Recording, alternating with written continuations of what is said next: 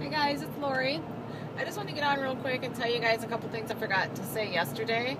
Um, first of all, I want to say thank you to all of my new subscribers, all my current subscribers, all my commenters, all my viewers, everybody who clicks like on my videos.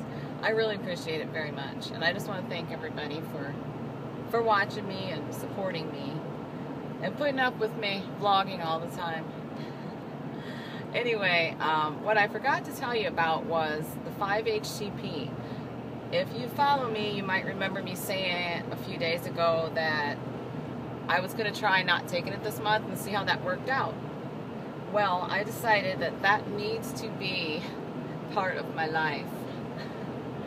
yeah, it, you know, when you do that, you stop taking it for a month like that just to see, wow, sometimes that really really makes you think, holy cow, it's a good thing I've been taking that. Because if I acted like that, you know, for the whole time before I ever started taking it, man, I don't know how these people in my house put up with me. But yeah, there was one night where I just, I, I was not very nice at all. In fact, I even told my boys I was going to move out. Get a place of my own. Yeah, that's not good. That's not good. I was I was kind of mean. Yeah, ain't no kinda about it. I was mean. But anyway, I explained to him that I'm just nuts. And I need my happy pills.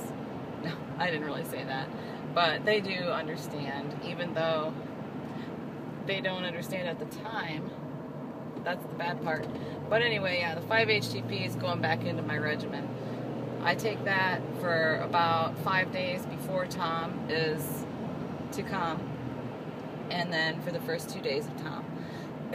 Excuse me. For the first two days of Tom, I take it too. and I don't think there's really anything else I needed to say. Stats, I'm the same as I was yesterday. I'm 125.6. And I did eat some carbs yesterday. I had um, I have a tickle in my throat for some reason. Sorry. uh, I had chili for dinner and or supper, whatever you want to call it, and I made I made it with um, it was like a P2 style chili, so it didn't have any sugars in it or anything like that. And I used a can of Great Northern beans. So I, I would normally use black beans, but the only place I went yesterday was Aldi's, and they didn't have any black beans. They were all out. So um, I just got a can of Great Northern beans. They had less carbs in it than any of the other beans that I could find. So, and I thought I might have had a can of black beans at home, but I don't. I didn't. So anyway, it was okay with that the Great Northern beans, but I do prefer the black beans. Um, make a lot of difference, I guess. But so I had that for supper and a small salad with Betty's dressing and cheese on it. And um,